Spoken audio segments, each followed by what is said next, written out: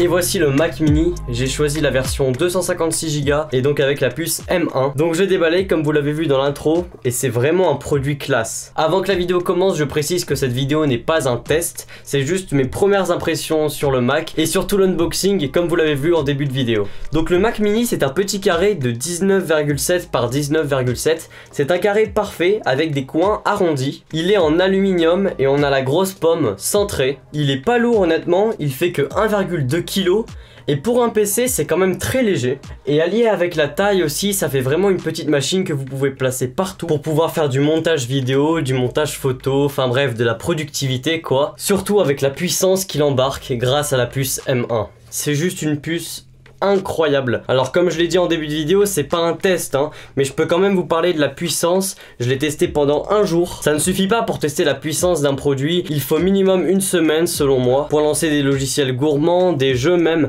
parce que maintenant il a un vrai processeur graphique puissant. Mais en tout cas, pour ma part, pendant ce premier jour avec ce Mac mini, ce que je peux vous dire c'est que je n'ai senti aucun ralentissement. C'est grâce au hardware quand même, grâce à la puce, mais c'est aussi grâce au logiciel macOS Big Sur. J'ai testé première Pro, j'ai testé Final Cut, Photoshop, j'ai testé des jeux. La machine ne rame pas alors qu'elle a que 8 Go de RAM embarqué et on peut quand même remercier le logiciel.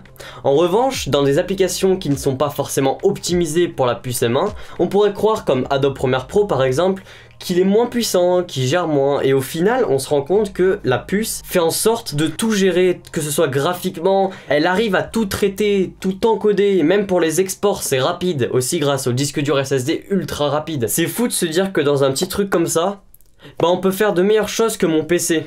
En tout cas pour les logiciels, la puce graphique est puissante, mais ce n'est pas du tout un ordi conçu pour le gaming. Même si vous pouvez, vous pouvez jouer à des jeux à 60, 100, 120 fps, c'est énorme. Mais vous n'atteindrez pas les 144 constants, c'est sûr. C'est une machine faite pour la productivité, et ce qui m'a beaucoup étonné aussi, c'est la ventilation et la dissipation de la chaleur qui est extrêmement bien pensée. J'ai mis à chaque fois que je travaillais mon doigt dessus, ma main dessus pour voir s'il y avait de la chaleur qui sortait et au final c'était froid et même il y avait très peu, en fait le ventilo ne tournait jamais. C'est ça qui est bien, je l'entends pas le ventilo. Sur les logiciels pendant des exports, des tâches où mon PC lui je l'entendais tourner. Et encore une fois, ça c'est grâce à la puce M1 qui fait en sorte de ne pas s'exciter entre guillemets. Bon niveau connectique rapidement, on a deux ports USB, deux ports USB-C, un port HDMI, une prise jack, ça c'est assez drôle, un port Ethernet et du coup bah, le câble d'alimentation, euh, la prise pour l'alimentation. À l'arrière on voit donc écrit Mac Mini, noir sur noir, et donc devant comme j'ai expliqué la petite pomme